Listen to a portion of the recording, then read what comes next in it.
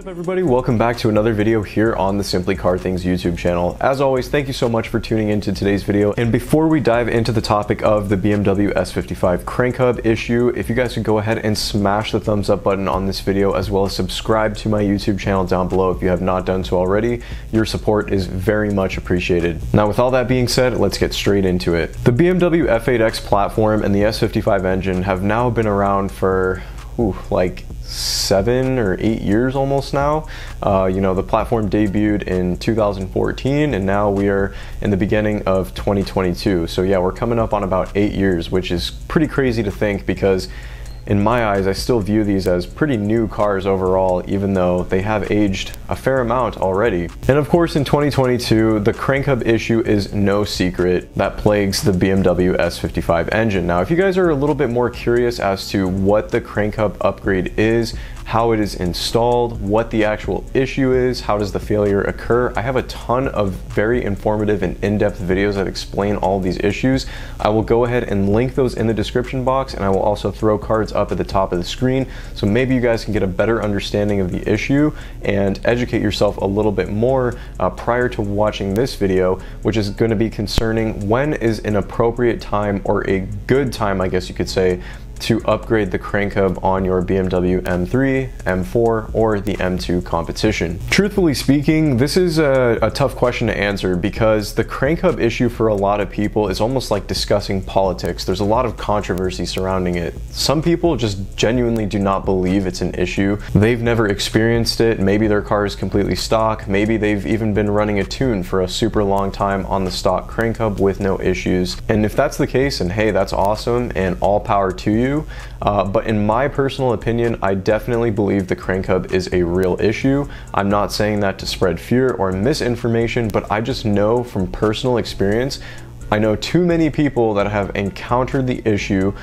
granted with modified F8XM cars that have basically either damaged their engines like the cylinder head as a result of the crank hub spinning, or they were lucky enough to just need a simple retiming of the engine. They went on and upgraded the crank hub and end of story. My personal belief, and again, this is just based off of my personal anecdotal experience. So if you do not value that type of information, or if you do not find that type of information to be credible in your own opinion, you are someone that wants to see data or hard numbers or stuff like that, you probably just want to click off this video because that's not what I'm going to be providing.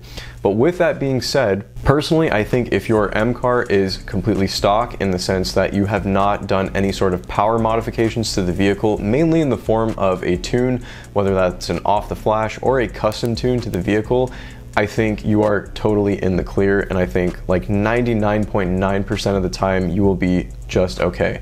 There have been some like horror stories and some information spread about uh, stock F8X M cars having the crank hub spin, but in my personal experience, I have never seen that happen. Uh, even at the various shops that I've collaborated with in the past, um, with a lot of my friends that I've seen that I have dozens of friends and, and, people that I know personally that own these cars and do drive them very hard, whether that be with extensive modifications or on track or a combination of the two. And I think if you are planning on leaving the car stock in terms of the powertrain, you will be just fine.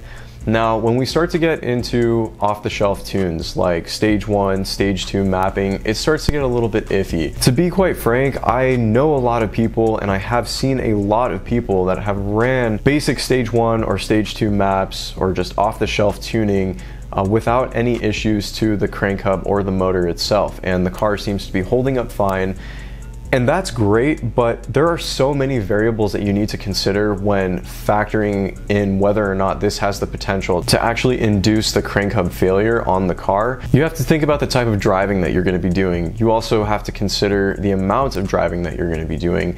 You also have to consider other modifications that are done to the vehicle.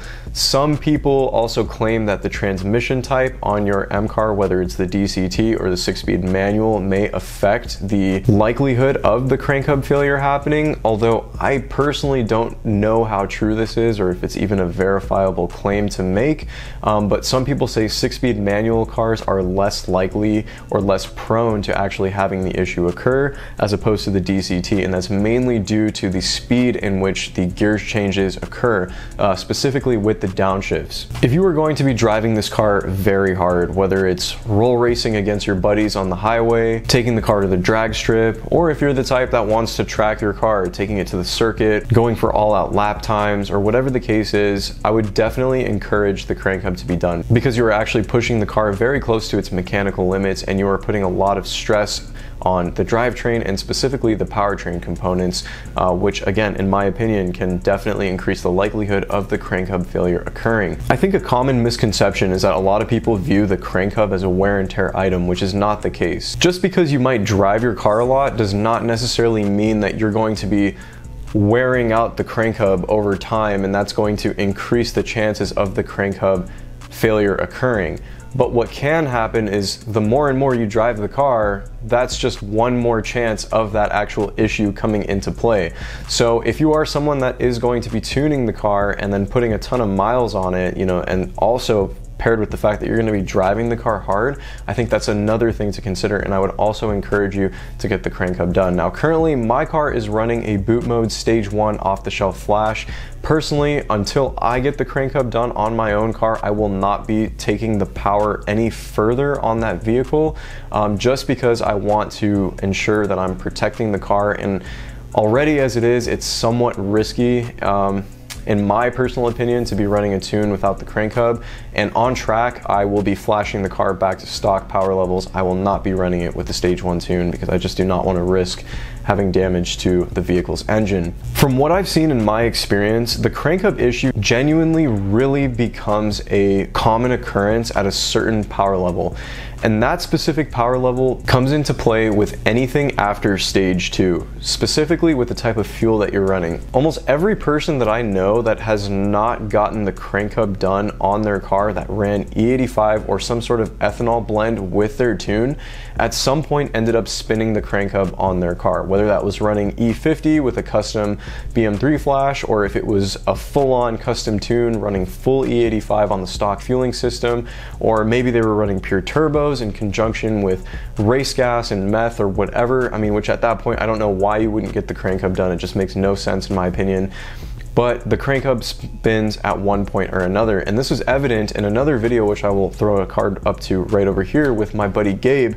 He goes by Blues Clues M3. I was actually in the car and I caught on video the crank hub spinning on his F80 M3. At the time, he was running full E85 on the S55 motor with a custom BM3 flash. The car was making probably like 560 to 600 wheel horsepower, somewhere in that ballpark in terms of power. So if you are someone that is planning on taking the power anything beyond stage two, I would 100 and 10% say go for the crank hub fix and make sure you get it done prior to taking your power anything beyond that.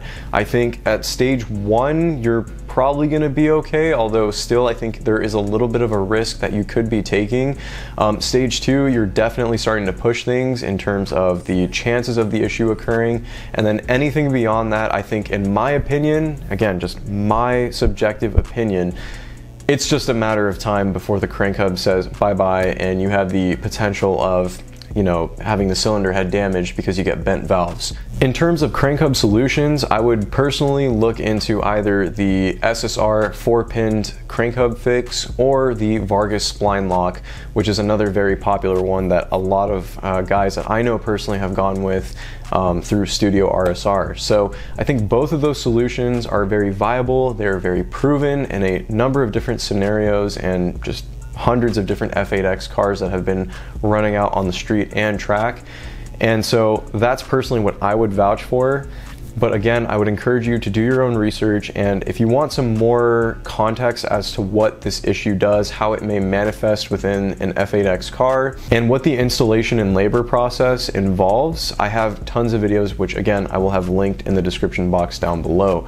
So with all that being said, guys, I hope that helps answer your question. I know the answer is a little bit vague and it's definitely not a straightforward answer, but that is the best explanation that I can provide to you guys as my viewers. So With all that being said, if you guys could go ahead and please smash the thumbs up button once more, subscribe to my YouTube channel if you are new here and if you haven't done so already. Again, I really appreciate the support. We're almost at 60,000 subs, so thank you guys so much for the continued growth on this channel. And with all that being said, I will catch you all in the next video.